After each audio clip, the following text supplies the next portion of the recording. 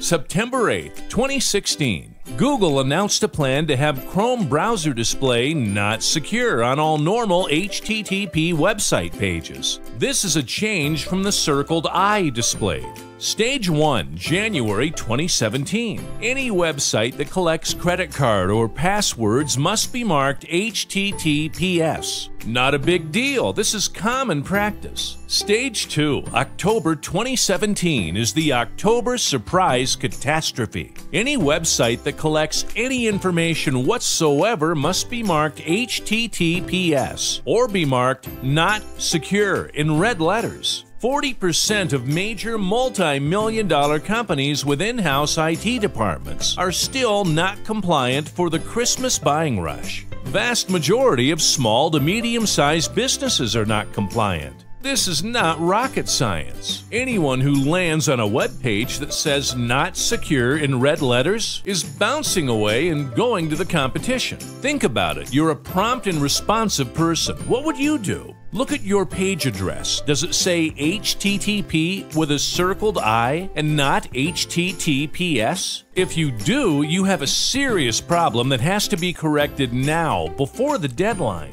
Google has already demoted you in searches because of this. Google is not secretive about this. They've been sending notices out telling developers to make the changes. Most website owners don't have a clue how to correct it. For every web developer, there are currently 5,000 live websites. This is a monumental task. We already know there will be some who fail to act before it is too late. Those who procrastinated to make their websites mobile responsive are now being eaten alive by their competition. The October surprise is far worse. Business owners who act fast now will have the competitive edge. Not secure updates and mobile responsiveness are just two symptoms of the much larger problem. There are countless others. Web Duer is the cure. All our updates are performed platform wide instead of individual sites. This is the reason why we never had these type of issues occur on any of the websites we develop and host.